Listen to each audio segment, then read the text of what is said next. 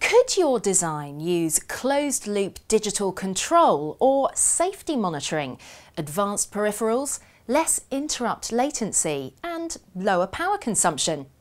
Well, with Microchip's PIC16F and LF161X microcontrollers, you can achieve advanced control with minimum design time and effort. That's because these 8-bit PIC MCUs are packed full of core independent peripherals, which add functionality without adding code or complexity. You can use these core independent peripherals for complex calculations, measure elapsed time for periodic angle or sinusoidal events, detect software timing anomalies and check for corrupted program memory. They can also be used to measure digital signals with high resolution and zero cross detection in AC line designs, all independently from the core. To find out more, check out the website today.